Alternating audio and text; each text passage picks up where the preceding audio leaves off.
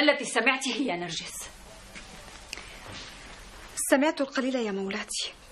القليل يعني الكثير أحيانا. تكلمي. سمعت أن مولاي الخليفة يريد أن يعلمها الغناء. الغناء؟ كي تبقى بجانبه وتؤنسه. أقسم إنني سمعت هذا يا مولاتي. وبعد يا نرجس. ما الذي سمعته يا نرجس؟ ويحك تكلمي. سأتكلم يا مولاتي لكنني أحاول أن أتذكر.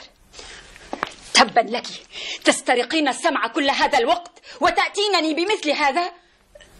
تذكرت. ما الذي تذكرته؟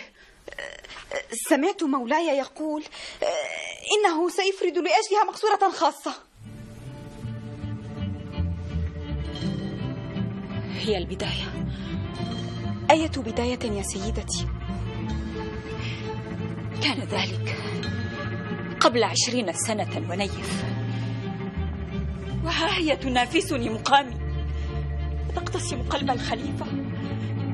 ولها ولد يقتسم ووالدي إرث أبيه. أنت تغالين يا مولاتي. أبدا.